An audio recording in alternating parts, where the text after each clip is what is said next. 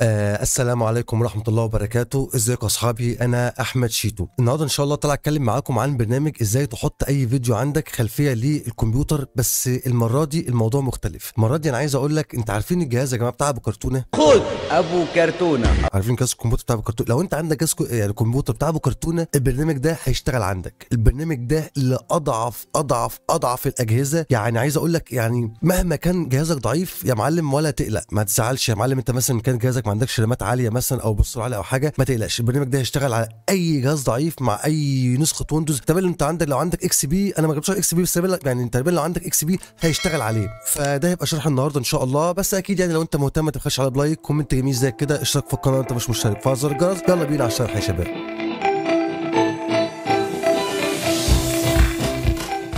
آه طبعا يا جماعة رجعنا طلعوا بعد ال intro. كالعادة نخش على طول في موضوع الحلقة. بصوا يا شباب أنا هسيب لكم link تحميله في صندوق الوصف. هتخش على ال link ده يفتح لك الصفحة دي كده اضغط على كلمة download اللي هي دي اضغط عليها. وناخد بالنا يا جماعة البرنامج مساحته تم- 248 كيلو بايت. برنامج حتى ما جابش يعني ما جابش نص نص ميجا يا جماعة. أنتوا واخدين بالكم؟ فطبعا حمله ارميه عندك على ال desktop. أنا طبعا محمله يعني مسبقا قبل كده. هينزل معاك بالشكل ده هنا كده اللي هو شيتو video wallpaper ده. click يمين عليه وتقول له هنا كده extract files واقول له هنا كده okay. طلع معاك في ال folder أهوت افتح ال folder ده كبر بس الشاشة تبقوا شايفين الدنيا. هيجي لك بالمنظر ده كده. هتيجي على اللي هو ده كده double click عليه.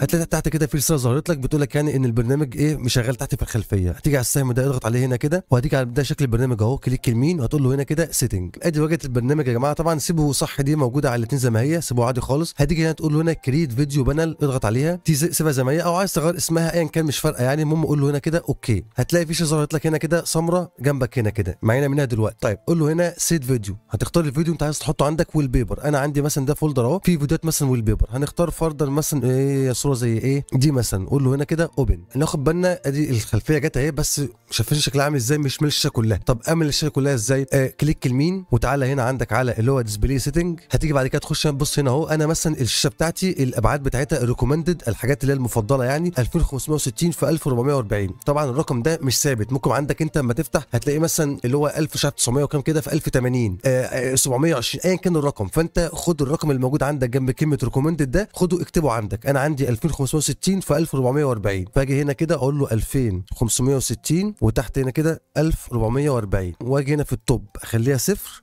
واجي هنا في ال left اخليها صفر. بس واقول له هنا بقى اللي هو set size and position اضغط عليها. آه زي ما شايفين يا جماعة. خلاص اقفل دي بقى كده خلاص. ادي شغالة معاك هي يا معلم. طبعا لو انت حابب بقى تغير الخلفية بعد كده ولا حاجة برضو هنا click يمين اهو setting هتيجي هنا set video واختار اي فيديو تاني انت عايزه. قول مثلا فيديو زي إيه؟ ده مثلا بتاع GTA ده مثلا. اهو هتلاقيه اتطبق معاك. المميز في ده زي ما قلت لكم يا جماعة إن هو خفيف جدا بسيط جدا. ما بياخدش خالص من موارد الكمبيوتر بتاعك. فالكمبيوتر بتاعك مهما كان ضعيف ما تقلقش يا معلم. فبس عشان بدك شرح النهارده. لو عجبتك الحلقة ما تبخلش على ب like comment جميل زي كده. اشترك في القناة وانت مش مشترك. فعل زر الجرس وبس كده يا شباب. يلا سلام.